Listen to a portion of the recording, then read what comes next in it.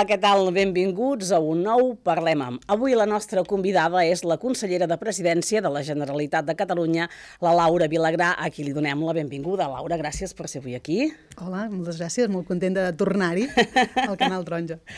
Laura, ahir es va fer aquest anunci en què s'aixecaven algunes de les restriccions que, teníem a, que tenim a Catalunya pel tema del coronavirus i la, i la pandèmia, com és ara aquesta, no? aquestes reunions de 10 persones que s'aixequen, també s'augmenten alguns aforaments, s'està també estudiant el tema de, dels esdeveniments esportius que s'augmentin també, anem millorant mica a mica.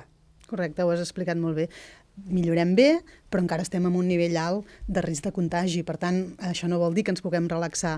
El que vol dir això és que amb drets fonamentals, òbviament, no els podem restringir perquè sí, sinó que havien de tenir doncs, una, una raó molt, molt forta i en tot cas ens plantegem amb aquelles activitats que han estat més tancades i que han patit més, doncs quin és el nivell d'obertura que podem donar i en tot cas fer-ho progressivament. Per exemple, el món de l'esport, que va estar tancat doncs, gairebé un any o més d'un any, i en aquest sentit doncs, ara estem plantejant plantejant doncs, l'obertura en, aquesta, en aquesta temporada i hem de veure doncs, si podem millorar alguns dels aforaments que en aquests moments són baixos i eh, doncs, senzillament perquè ha estat positiva l'experiència d'aquestes primeres setmanes i per tant és el que anem fent amb prudència però anar intentant obrir i donar oxigen perquè també els eh, indicadors sanitaris estan millorant però encara tenim més de 300 persones a la UCI. Cap malaltia té aquest nivell d'incidència doncs, de tantes persones en una situació crítica. Per tant, eh, fins que no millorin molt aquestes dades, no podem doncs, realment doncs, fer una obertura més gran.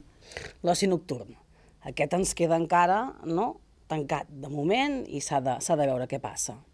Correcte, és en aquesta línia. Uh, L'oci nocturn és una activitat en la qual tots plegats, quan uh, diguem-ne podem gaudir d'un moment de relaxament, d'entreteniment, doncs uh, es baixen doncs, les, les defenses, és a dir, es baixen les mascaretes, uh, doncs tenim un ambient més relaxat i per tant uh, és difícil mantenir unes mesures molt estrictes en un oci que, que en fi, que, que tots sabem que, que quan hi som doncs en volem gaudir, en volem gaudir amb les màximes uh, conseqüències i per tant és en aquest sentit que quan millorin efectivament efectivament tots aquests indicadors sanitaris podem fer aquesta obertura eh, més definitiva de l'oci nocturn, perquè també d'alguna manera obrir-la mitges s'ha vist que no és efectiu, ho han fet altres comunitats, però entenem que amb tantes restriccions, havent d'estar asseguts, sense poder ballar, sense poder interactuar, es fa molt difícil mantenir una activitat que efectivament el, la seva essència justament és aquesta, l'acostament, ballar, mm, relaxar-nos, i això ho podrem obrir de manera definitiva quan estiguem eh, millor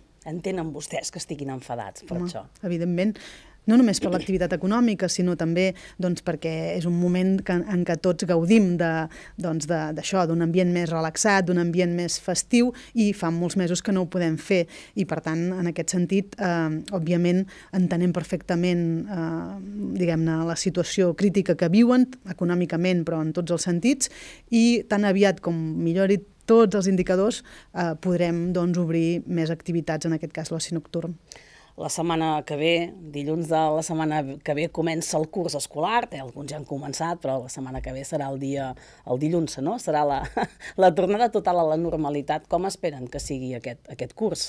Bé, les mares i els pares estem esperant aquest moment amb candeletes. En tot cas, eh, pensem que anirà bé, pensem que eh, l'any passat el de tot el curs escolar ja va ser positiu, per tant va ser una bona cosa obrir, recordem que hi havia doncs, sectors que ens deien que, era, que no era preceptiu, que no era pertinent obrir eh, les escoles i en aquest cas el govern de la Generalitat va apostar per obrir-les i el departament va apostar per obrir-les i creiem que va ser una bona, una bona cosa i aquest any ens sembla que també serà un molt bon curs on podrem aprofitar, on a més doncs, amb uns índexs de vacunació alts, perquè de fet els nois de, i noies de 16 a 20 40 anys han fet doncs, la feina i s'han vacunat doncs, de forma important i hem de seguir insistint que ens hem de vacunar totes i tots perquè de fet doncs, en una classe on les persones estiguin vacunades segur que el curs es podrà desenvolupar amb molta més eh, normalitat que no pas doncs, aquells que no i en aquest sentit doncs, tornar a reiterar aquesta necessitat. Ara parlava vostè de, de vacunació, hem vist aquestes imatges darreres d'aquests dies, d'aquestes darreres setmanes d'estiu, de, d'aquests centres de vacunació buits. Es, uh mhm. -huh. Continuàvem reclamant no? que la gent s'anés a vacunar, a passar l'impàs de les vacances, esperen doncs, que ara això es torni a, a reactivar de la gent que encara no està vacunat, o ja, ja se sap que aquest aquest sector que no està vacunat no, no es vacunarà, que, que són un munt de persones sí. encara. Bé, l'índex de vacunació, en general, si el comparem amb la resta del món, no anem malament. Justament, eh, diguem-ne, a l'estat espanyol i a Catalunya no hi ha, diguem-ne, eh, moviments antivacunes com hi ha a altres països que fan que els índexs els hi baixin. Nosaltres tenim un índex alt, però encara no suficient. Encara eh, reiterem la necessitat de, de vacunar-nos i, efectivament, l'agost va ser fluix i el setembre esperem que arrenqui eh, i que efectivament hi hagi més persones doncs, eh, que, que apostin per la vacunació, que és l'única manera que hem trobat de, de moment per en sortir-nos d'aquesta situació tan crítica.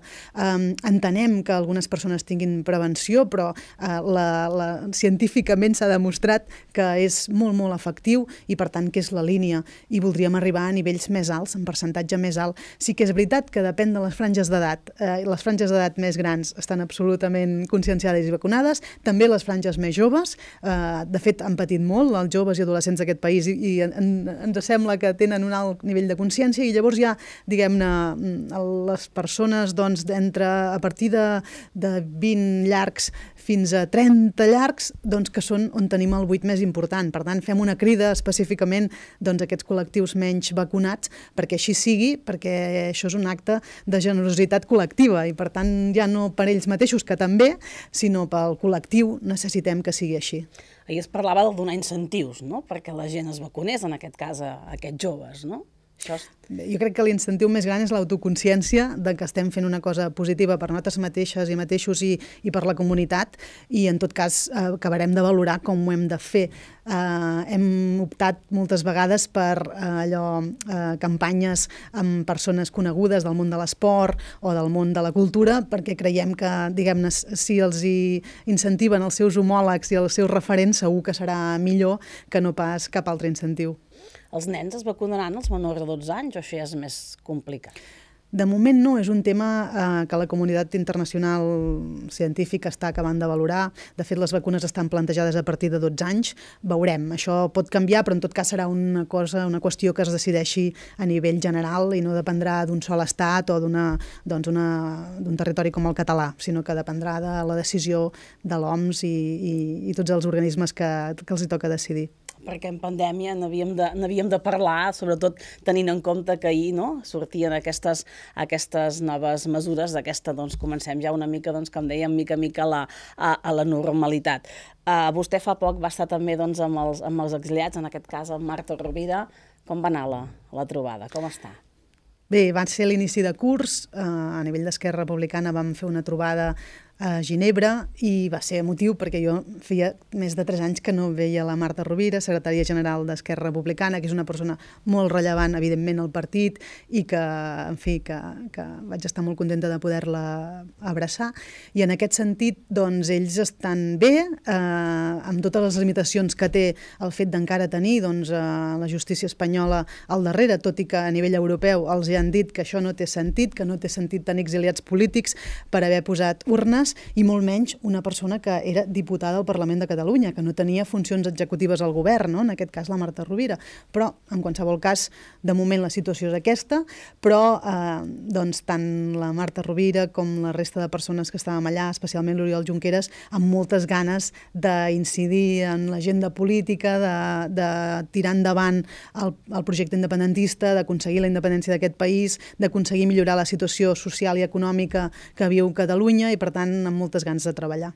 I els presos, en aquest cas, que ja ja estan en llibertat, clar, gaudint-la, no?, suposo, perquè és tornar a, a sortir, tornar, sí. tornar a fer vida normal. Sí, sí, sempre expliquen que s'hi han hagut d'acostumar, però que s'hi han acostumat ràpid uh -huh. perquè, eh, òbviament, eh, la situació era molt crítica, no podíem permetre'ns en un país democràtic tenir presos polítics i en aquest sentit, doncs, òbviament, estan contents i contentes, eh, el mateix en el, en el sentit de ganes de treballar pel país, de ganes de treballar per la llibertat i, de fet, és el que fan. Eh, I en aquest cas hi havia l'Oriol Junqueras com a president del partit que, de fet, ens anima ell a nosaltres. Ja ho feia des de la presó i com altres persones com el Raül Romero, la Carme Forcadell o la Dolors Bassa i la resta de, de, de presos i per tant nosaltres molt contents de poder-los tenir activament amb tots, eh, diguem-ne, eh, amb tota la força des de fora, però sí que és veritat que tenen doncs, encara no, eh, diguem-ne, reconeguts tots els drets i de fet els drets polítics més rellevants, que és poder ser representants del poble, no els poden tenir, no els poden tenir durant molts anys. Per tant, recordar que encara hi ha la repressió que afecta aquestes persones i durarà uns quants anys. Laura, ja porta vostè uns quants mesos eh, al, al govern. Quina valoració en fa d'aquests primers uh, dies? Sí, tres mesos, mesos, de fet, mesos tres ja. mesos.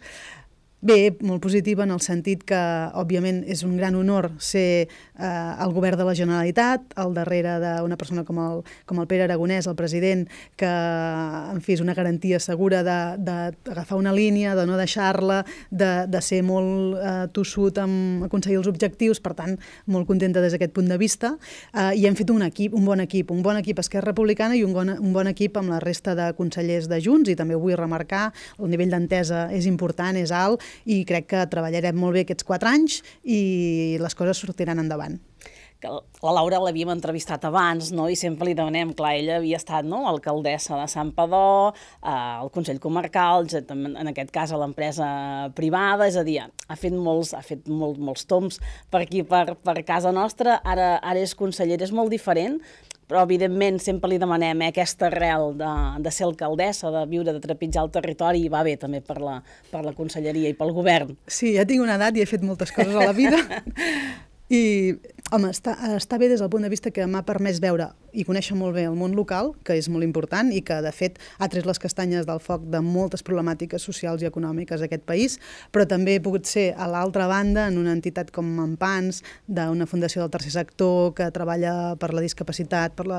per les persones amb salut mental i com donar-los tots els suports i totes les eines, i això és una base molt sòlida i important. Però alhora jo cada dia torno a dormir Sant Padó, això ho tinc claríssim, que sempre serà així així.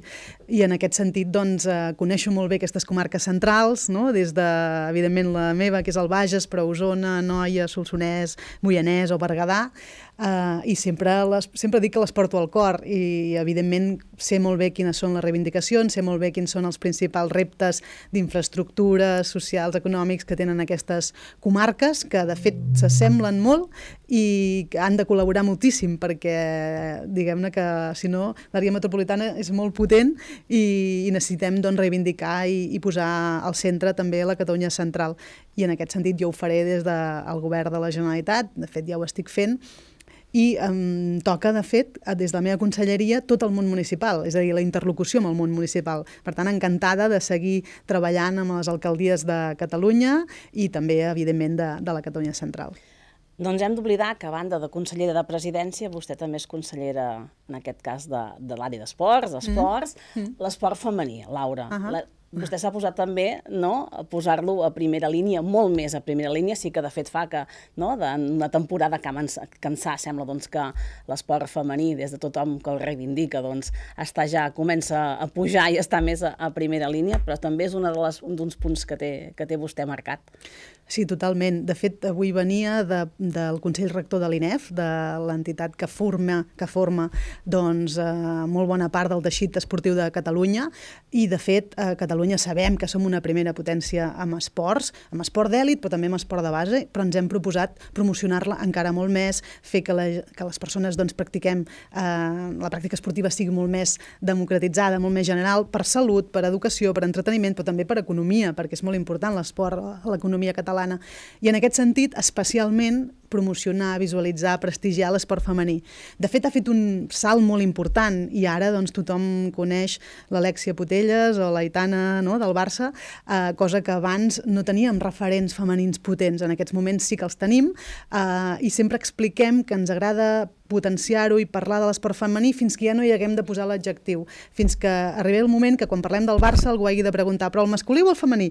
Perquè si no, quan parlem del Barça tothom imagina el masculí, el masculí i si vols parlar del femení femení li has de posar l'adjectiu. Voldríem doncs, arribar a un punt que l'esport femení fos tan potent que d'alguna manera ja no hi haguéssim sempre de ficar aquest adjectiu a darrere per eh, visualitzar-lo. Però creiem que ho aconseguirem. Això també es fa des de la base, eh? des, de, des dels petits, des de les Correcte. nenes, en aquest sí, sí, cas. Sí, sí, um, de fet, justament aquestes, aquests referents nacionals no, de l'esport, per exemple, el Barça, doncs de ben segur faran que moltes més nenes, i nens també, eh, perquè les veuen també com a referents, doncs, diguem-ne, s'impliquin en la pràctica esportiva, i especialment d'aquells esports més d'equip que tradicionalment no hi ha hagut tantes nenes, perquè hi ha alguns esports que efectivament sempre hi ha hagut nenes, no? I, i, i veiem això, aquesta possibilitat possibilitat de, en esports més femenins s'incorporin més nois i en esports eh, tradicionalment més masculins més noies fins a, a, a prestigiar-ho i que realment doncs, tingui, eh, el posem al lloc on, on es eh, cal hi han quatre anys per endavant de, de, de, de la legislatura, com li agradaria que fossin aquests, aquests quatre anys? Més tranquil segurament no? que, la, que el que hem tingut fins ara. No? Bé, a mi m'agradaria que fóssim profitosos, que, que efectivament féssim les transformacions que ens hem proposat, perquè de les crisis del 2007 i després, doncs, eh, diguem-ne, aquesta darrera que hem viscut amb la pandèmia, eh, no ens n'hem acabat d'en de, de, sortir en el sentit que han quedat persones enrere, i jo voldria que no quedés ningú enrere, i el govern de la Generalitat ha d'estar al costat de la gent i especialment la gent més vulnerable. I jo que vinc doncs, eh, d'haver treballat en una entitat com amb PANS, amb l'àmbit de la discapacitat, amb l'àmbit de la salut mental, eh, eh, són persones que, que necessiten tot aquest suport i altres que socialment, pel que sigui, han anat quedant enrere. Per tant, voldríem aconseguir donar oportunitats per tothom, hagin nascut a la família, que hagin nascut amb les condicions eh, personals que tinguin, eh, tothom tingui oportunitats. I també, per altra banda, doncs, eh, fer que efectivament aconseguim la resolució del conflicte polític. Jo diria que aquests són els dos grans objectius, no? la transformació més social i econòmica perquè tothom tingui oportunitats, però per altra banda poder exercir el dret a l'autodeterminació, eh, aconseguir l'amnistia o en tot cas la fi de la repressió eh, de forma real no? i que, que totes aquelles persones represaliades doncs, eh, restitueixin les seves, els seus drets, els seus drets fonamentals i aquest és l'objectiu i per això treballem intensament cada dia i no ens ho traiem del cap perquè efectivament visualitzant-ho, pensant que ho aconseguirem, no sent, eh, diguem-ne, pessimistes, al contrari, eh, que som optimistes que aconseguirem aquests dos grans objectius, encara que, òbviament, doncs, no serà fàcil. La taula de diàleg llavors és un pas? Aquesta taula de diàleg a Madrid és primordial? Bé, explicar que eh, l'àmbit independentista, els dos partits grans que estem a govern, però també la CUP, hem signat uns acords. Aquests acords són els que hem de complir i aquests acords preveuen eh, una primera etapa d'aprofundiment en la negociació. Nosaltres volem canviar el marc mental de dir que és una taula de diàleg, perquè diàleg pots parlar molt i no arribar a cap acord o no arribar a cap negociació concreta. I el que volem és que efectivament arribem a una negociació eh, profunda eh, i aconseguim objectius importants polítics per la resolució resolució d'aquest conflicte. Només el fet de poder fer una taula i que hi hagi eh, asseguts a un cantó i a l'altre, el govern espanyol i el govern català, és la visualització que es reconeix un conflicte polític. I això a nivell internacional s'entén. S'entén perfectament que hi ha dos sectors que tenen plantejaments polítics en aquests moments encara distants, però que s'asseuen per parlar-ne i arribar a acords concrets per resoldre el conflicte. Catalunya no renunciarem al dret a l'autodeterminació, no ho hem fet mai eh, i en aquests moments hi ha una majoria social i política que hem de reforçar encara més. Nosaltres sempre expliquem que hem de ser com més millor i totes les eleccions són un bon mecanisme i un bon moment per ampliar aquesta base. També expliquem que l'activisme ha de ser fort i per tant doncs, totes les mobilitzacions que hi pugui haver malgrat la pandèmia han de ser fortes i han de ser doncs, eh, amb aquesta unitat i aquest demostrar la força de l'independentisme, però després també a nivell nivell social, a nivell de, de sindicats, d'organitzacions empresarials, hem de reforçar que aquestes eh, organitzacions defensin també el dret a l'autodeterminació. Per tant, tenim molta feina i tots eh, i totes les que apostem per una resolució política tenim feina a fer per implicar-nos en aquest procés de resolució. Ahir vostè precisament es va reunir no? amb, els, amb, amb els sindicats. Exactament, ens vam reunir amb tots els sindicats de la funció pública i evidentment vam abordar molts aspectes, però també el, les qüestions de país, que són importants, que tinguem una interlocució amb organitzacions tan rellevants i tan, eh, diguem-ne, que tenen tanta força com els sindicats. També ho farem amb les associacions empresarials, però nosaltres, com que portem funció pública des de presidència, és a dir, a presidència tenim tots els recursos humans de l'administració la, de que els gestionem i mirem que s'organitzin i funcionin de la millor manera possible, doncs en aquest sentit ens semblava importantíssim doncs, trobar aquesta relació i aquesta aliança amb els sindicats del país. L'aposta pel referèndum continua? És a dir, Clarament, clarament. És a dir, és obvi que el referèndum primer és la mesura més integradora perquè permet que tothom s'expressi i per tant eh, ens sembla que també a nivell internacional eh, és el que s'entén, que les persones votin no? en un país on hi ha un conflicte polític i que dirimeixin doncs, eh, de manera política les seves eh, diferències eh, i per això apostem fermament per un referèndum pactat. Jo crec que això, diguem-ne, tothom hi pot estar d'acord. De fet, és el gran consens del país. La major part de les persones al país, quan se'ls hi pregunta, eh, voldríem poder votar per acabar d'aclarir doncs, quin és el pes de cada, de cada opció i, per tant, aquí ens mantindrem molt forts, que pensem que és la millor opció i, de fet, és l'exercici del dret a l'autodeterminació, que no és altre que, que poder votar. Abans vostè parlava no, de, de que coneix molt bé el territori, parlava no, de les mancances, per exemple, d'infraestructures que tenim. Fa pocs dies hi ha aquest alliberament de peatges, però aquí encara continuem tenint aquesta, aquest peatge, que és aquesta autopista, que continua sent una de les més cares de l'Estat. Entenc que el territori a casa estiguem enfadats sí, clar, en aquest clar, clar. tema. Clar, clar, òbviament. Uh, és a dir, nosaltres el que plantegem és, uh, en, en un plantejament de mobilitat sostenible, convé que millorem, en primer lloc, d'una forma molt clara, doncs, tot el que són els transports col·lectius de tren, per exemple, en aquest cas, i en el cas de la Catalunya Central, doncs l'R4 i l'R3, per entendre'ns, és a dir, una que triga igual com quan teníem allò...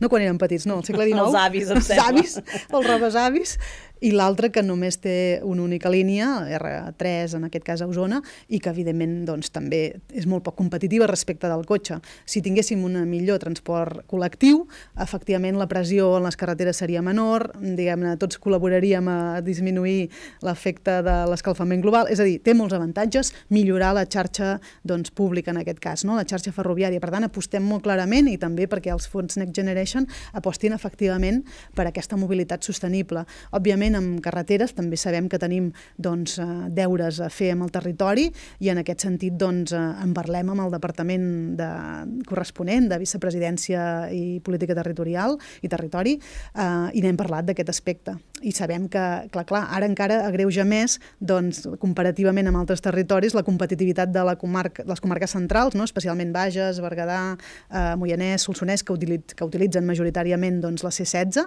que efectivament és un peatge molt car, perquè de fet és de les últimes autopistes que es va construir i per tant encara queda doncs, temps, temps de, de pagament. Per tant, eh, en som conscients, n'hem parlat, eh, ho hem d'abordar i per tant eh, necessitem trobar una sortida eh, efectivament a aquesta, a aquest peatge tan car vostès segueixen també reclamant més competències. Clar, com més competències, més feines pot fer des de, des de mm -hmm. casa, des del país, podríem dir. Sí, sí, eh? nosaltres expliquem que del que tenim pactat, diguem-ne, estatutàriament i de les relacions bilaterals que tenim amb l'Estat, ho volem tot i ho volem ràpid. És a dir, totes les competències que ens pertoquen, tots els traspassos d'infraestructures, d'equipaments, d'edificis que l'Estat encara té a Catalunya, els volem tots i els volem ràpid, perquè cada vegada que, que lluitem per un d'aquests aquests traspassos d'aquestes competències, sembla que arrenquem un queixal a l'altra banda i realment costa molt i en aquest sentit centrem molt els esforços a aconseguir-ho, perquè tot això que ja anem consolidant,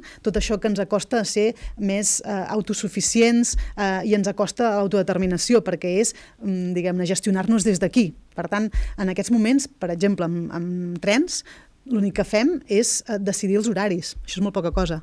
No decidim sobre la infraestructura, sobre la infraestructura, sobre les inversions, no tenim els trens, eh, tenim molt poca capacitat d'incidència i en canvi és el transport que utilitzen majoritàriament doncs, molts catalans i en el cas de la, de la R4 que és la, la, de, la, la que situa cap al Vallès doncs, eh, i arriba a Barcelona de Renfe en aquest cas doncs és la que té més usuaris del país per tant, és absolutament estratègica i és absolutament estratègic que sigui des de Catalunya que acabem doncs, autogestionant-nos d'aquesta línia que és tan important pel país.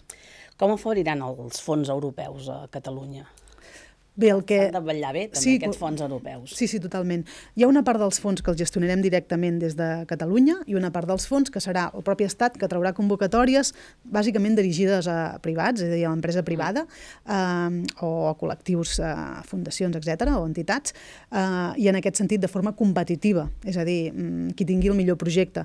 Catalunya sempre ha tingut molts bons projectes, molts bons projectes tractors, una indústria, eh, diguem-ne, potent des d'un punt de vista d'automoció, des d'un punt de vista de de renovables, des d'un punt de vista sanitari. Fins i tot, nosaltres el que prioritzem és aquelles eh, activitats que tenen relació amb l'economia de la vida, és a dir, millorar les condicions de vida de les persones i, per tant, tot el que fa referència a salut, a cures o, o mobilitat ens semblen absolutament rellevants. Tot allò que fa referència a la indústria de l'automoció, que ha de fer una reconversió important i que la Catalunya Central és molt rellevant, una indústria molt rellevant, ens sembla estratègic.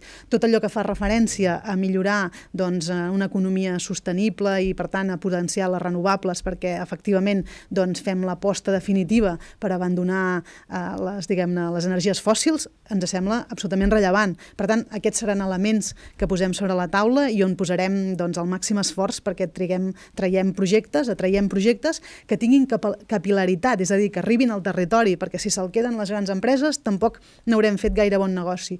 I en aquest sentit és l'esforç titànic que estem fent des de la Generalitat perquè aquests objectius es compleixin. Consellera, moltes gràcies. Moltíssimes gràcies a vosaltres. Vagi molt bé i fins la propera. Un plaer. Adéu-siau. I nosaltres, que ben aviat tornem amb un nou Parlem amb. Adéu-siau.